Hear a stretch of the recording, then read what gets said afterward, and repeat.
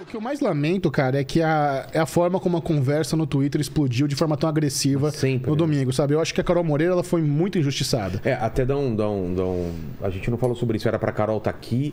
Aí ela falou, putz, estão me enchendo muito saco, né? Por causa de toda É. essa polêmica e tal. É, preferiu não vir porque ela, ela ficou muito. Ela foi muito atacada. né? Foi muito atacada. E, e eu- e, cara, se você acompanha o trabalho dela. Ah, eu fui xingado, eu não tenho nada a ver também, fui xingado lá. Eu ah, fui- só tá querendo aparecer, por que, que É. você mandou Não, DM pra Eu ela? fui O que é? de reportar. Tipo assim, ah, os criadores se pronunciaram. Ah, você não quer dar opinião? É, Melhor não, você então. É, aí, cara, E aí, sua isenta, isentona? mas vai olha só. o muro? Olha, olha só o problema. Se você não falar nada, você é isentão. É. Se você fala alguma coisa, você é criador de conteúdo, sua opinião não vale, porque você paga pela Netflix, o Pix caiu, então você é, aproveitador. Só que o que a galera que faz esse tipo de, de acusação não, não entende é que, cara, esse argumento faria um sentido se a Netflix fosse o único anunciante do planeta Terra. Porque o que mais vale pro criador de conteúdo é a sua credibilidade, é. a sua autoridade. Você nunca ia colocar isso em risco pra defender uma empresa multinacional, se você realmente não acreditar. Se eu conheço a Carol Moreira, ela não tem um pingo de, de maldade em nenhum osso do corpo dela. Se ela tivesse achado que aquilo era plágio, vocês não tenham dúvida, ela ia ser ponta de lança atacando a Netflix. Ela ia ser a primeira a falar. E como ela foi uma pessoa que fez uma cobertura muito, sabe, em cima, entrevistou o elenco, ela tava lá e ela fez stories, ela fez tweet se pronunciando, ela foi super honesta, super sincera, falou com carinho, falou, defendeu a Mari, falou pra galera conhecer o trabalho dela, elogiou o trabalho da Mari, só que no final ela chegou à conclusão que não há plágio. E eu concordo com ela, eu também não acho que é plágio. Cara, é opinião, velho. Qual é o problema? A sua opinião, a opinião dela. Exato. Você- mas é isso, a sua opinião é, não, tem, não tem legitimidade alguma porque você está sendo pago pela Netflix. Esse que é o argumento da, A gente teve da esse turba do mesmo Twitter, problema- cara. A gente teve o mesmo problema com a série do, do nova do Senhor dos Anéis, o Anéis de Poder. Anéis de Poder, que veio aqui, né, o pessoal do Bolseiro é, e, e, e Tolkien Talk.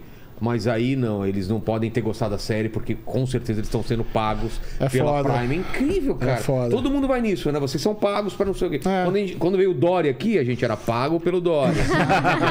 Vem o político que a ah, calça- tá pagando pra ele vir. Mas você ganhou uma calcinha apertada do Dora. Quanto vale aquilo? Pô, cara, aquilo vai valer um dinheiro, hein? Porra, Dora, quando você morrer, a gente vai vender essa calça, me desculpe. Traz de volta a calça, Cara, você pegou a calça? Serve em você, eu tô ligado, hein? Hoje eu tô usando uma calça 36. Olha aí. Ele que- usa 36, cara. 36, achei que era menos até. Nossa, Porque a 36. cinturinha dele é isso aqui, né? É, é muito, é muito, muito pequeno. Mas é isso, cara. O que me- mais me deixa triste é a, é a bagunça, é a, é a má vontade, é a má fé de uma galera que não se deu o trabalho de assistir e ler- e cara. Tá tão fácil. Sabe, se você tem tanta certeza, chegando por que, muito que você não no- consome, né? O- Chat agora? Então, Não, não, não, não são. ah, tá. Você Ah, mas vai ter. Só que vai virar corte, vai ter polêmica, sabe? Não, E sabe? vendidos e tal. É, não de tem qualquer problema. forma, assim, eu acho que mesmo se a pessoa tivesse lido e assistido, ainda assim não é motivo pra você xingar dessa forma, Claro, você não. acusar. E, e eu acho que esse é o problema da internet também. A galera é muito terra de ninguém nas É. coisas. E, e, tipo, Todo mundo é bem corajoso na internet. é, e É, aí, Isso é uma mudança que tem que acontecer, cara. O cara tem que ter o RG, o, o CPF dele na conta. A galera tem que saber quem é a pessoa. Porque a, gente tá- a nossa cara tá lá. O pessoal sabe quem é a gente. Sim. Agora, esses Naruto lá, você não sabe quem é. Exato. Você pode estar discutindo com um cara de 14 anos ou com, sei lá, um, um outro cara. Não, assim. e a maioria da galera não quer nem debater, não quer conversar, não quer, eles querem zoar. É, o, o- o-. Twitter é um lugar da galera zoeira, da galera trollagem. Sabe? A gente quer ver o Defante ser preso em Catar. É essa que a- essa que a gente quer ver, sabe? É, a bagunça é essa. E a, gente tem- e a gente não pode reclamar. O Twitter é. isso, todo mundo já zoou, já fez uma trollagem também. Então você tem que aceitar o Twitter da forma que ele é. Isso sempre vai ter. É por isso que eu optei em dar a minha opinião em vídeo. Pra galera, tá. sabe, ver o Tem meu mais rosto. tempo pra defender. Não, nem, nem só mais tempo defender. Eu acho que quando você tá escrevendo, não tem tom. É. Sabe? Então, realmente, você não consegue transmitir a, a sinceridade e honestidade. Ah, Agora, quando você tá falando, a Carol muda mesmo, tudo. Ela fez story Ela também. fez. É, mas stories aí assim, também some, é 15 segundos, sabe? É.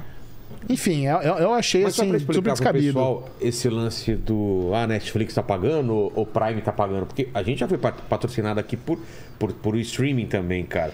Cara, você não tem obrigação nenhuma de falar bem ou mal. Os caras nem perguntam pra você. Isso não É, existe. eles- Eles não eles ficam não pesquisando interferem. Vilela já falou mal da Netflix, já falou. Cara, eu já falei mal de tudo. Com certeza já falei mal da Netflix. da Claro. Prime. Em algum momento, já falei mal da Prime que eles que o, era, era ruim a forma de navegar, melhoraram. Netflix já meti pau em uma série e outra. Cara, você acha que os, os caras vão deixar de anunciar porque você falou bem ou falou mal? Eles não estão afim de. ele- Eles querem um profissional que tem liberdade de falar qualquer coisa e eles vão continuar patrocinando. É, e então... mesmo numa crítica, outra, ele não detém Netflix, a tua tanto faz opinião. se foi plágio ou não, entendeu?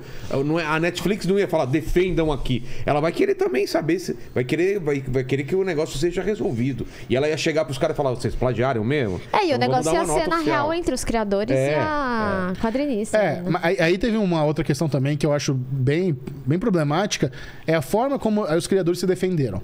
Ah, é? Porque Como foi? de- de- você pode até puxar, não no, tá fácil de puxar na internet também. Aí tanto o Barão Como que Bodar eu como a? Yanti, se, se você colocar no Google aí, criadores de mil- 1899, defende de plágio, aparece já as versões tra- traduzidas. Porque a, a, a Yanti, é, ela, ela nem usa rede social. É, o, primeiro, o primeiro post no Instagram dela é falando disso, ela não tem nada no Instagram dela. Não, o... É o único post que tem lá na conta Na dela no real, Instagram. eu, eu segui ela na terceira ou segunda temporada de Dark. E era daqueles de solicitar. Ela me aceitou agora. Olha que maravilhosa. Ó. Mas ela, ela abriu, aquela, aquela que agora. Ah, já deletou esse post? É, porque ela voltou pra se pronunciar. É, é. Não, ela deletou o Instagram. Ah, ela deletou é? no Instagram? É. Ah, então que bom que tem a internet tem prints aí. O Barão Bodar, eu acho que ele foi mais, mais assim, mais cauteloso. Ele falou, gente, a gente não, não plagiou nada, a gente não conhecia o trabalho dessa, dessa quadrinista e tal. A Yanti, ela já termina meio que acusando a Mari de ser aproveitadora. Que ele Falou assim, parte. se você fez isso pra vender mais quadrinhos, bela jogada. Assim que ela termina o, o, o statement dela lá. O que eu não acho que não precisava também É, cara, mandar um shade desse. É, né? não precisava É. dar uma cutucada dessa. Mas tá, tá na internet, tá fácil de ver aí os dois criadores da série se defendendo, negando o plágio e meio que dando uma cutucada também no final. E é chato, cara. É chato porque você vê uma pessoa que tá lá sendo atacada de tudo que é lado, ela tá sendo atacada, sendo defendida. Eu acho que a gente se sente muito atraído pelo underdog. Quando você vê uma quadrinista brasileira falando que ela foi roubada do sonho dela, meu, a gente se sente muito atraído pra defender isso, sabe? É, é um negócio que você quer defender a pessoa que tá sendo injustiçada. Logo, é- esse é o primeiro. Também eu acho que isso conta bastante. Esse é o primeiro é, é, sentimento que você tem ao ler a, thread dela, que é super emocionante. É, da Aventura de Pio também você vê, né? Capa do livro do, do brasileiro. E isso foi plágio. É, um, um barco de uma criança com É. um tigre lá também, a mesma É, isso coisa. foi. E aí ficou ficou isso da gente, né? De, É. Porra, de novo vai acontecer. Você fica meio revoltado. Exatamente, já, já, já tem o histórico já. É, é, é tudo muito revoltante, tudo muito triste, é uma pena que isso aconteceu. Mas, se no final das contas servir pra divulgar o trabalho da Mari, pra quem sabe ela transformar o quadrinho dela numa série, num filme. Não, com certeza chamou. é, teve uma atenção pro quadrinho. Eu li, você leu, leu Acho muita gente só, leu. né, E eu, tá- eu não conhecia o trabalho Eu dela. Eu nunca acho que teria lido, cria talvez. esse sentimento também, você vai querer saber mais do artista. É, então você vai ler exatamente. outros quadrinhos.